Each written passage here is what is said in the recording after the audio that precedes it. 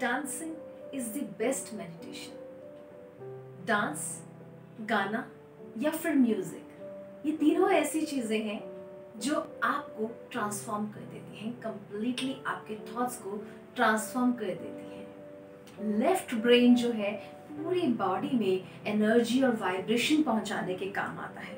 और जब हम म्यूज़िक सुनते हुए डांस करते हैं तो सबसे पहले हमारा एक्टिवेट होता है left brain so left brain activate होते ही हमारी हर सेल्स हमारे डीएनए हमारे बॉडी की हर वेन हर एक पोर्शन हमारे बॉडी का हर एक पार्ट जो है, वो एक्टिवेट हो जाता है।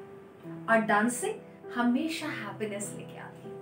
आपने देखा होगा, जो लोग डांस कर रहे हैं, शादियों में या फिर किसी भी पार्टी पे, उनके चेहरे पे एक स्माइल ऑटोमेटिकली आ जाती है। डांस करते हुए वो स्माइल कहाँ से आती है कभी सोचा? आप इंजॉय करते हो डांसिंग को। डांस आपके लेफ़्ट बॉडी की एनर्जीज को एक्टिवेट करता है, इसीलिए आप में वो हैप्पीनेस वाली फीलिंग आती है। सबसे पहले तो ये भी बता दूँ कि मेडिटेशन जो है, उसको सीखने की ज़रूरत नहीं है, ये इनबिल्ट है।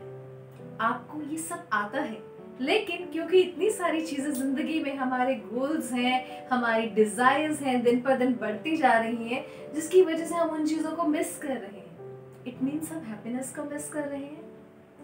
मेडिटेशन करना it's not a task meditation करना is not about not thinking about anything it's just about doing nothing और focusing on one single thing which makes you happy जहाँ पे भी आपको खुशी मिले, वही है मेडिटेशन सो डांसिंग हमेशा खुशी लेके आती है। कैसा भी म्यूज़िक आप लगा लीजिए चाहे भगवान के भजन लगा लीजिए, चाहे आप सॉन्ग्स लगा लीजिए, चाहे आप सूफी सॉन्ग्स लगा लीजिए, अगर आप उन पे पूरा बीट्स को फॉलो करके उनके बीट्स के साथ झूमते हैं तो you will see a smile comes on your face जब वो स्माइल आती है, यानी कि इंटरनल हैप्पीनेस आपके फेस पे आती है तो हम सभी क्या ढूंढ रहे हैं?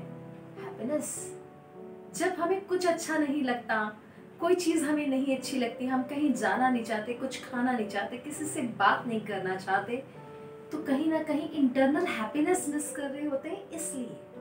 और वो इंटरनल हैप्पीनेस वो अगर इंटरनल है तो ऑब्वियसली अंदर से ही आएगी। So there is no way to happiness happiness is the way so कहते हैं, अगर नाचना आता हो तो भगवान को भी मनाया जा सकता है, भगवान को भी नाच के खुश किया जा सकता है।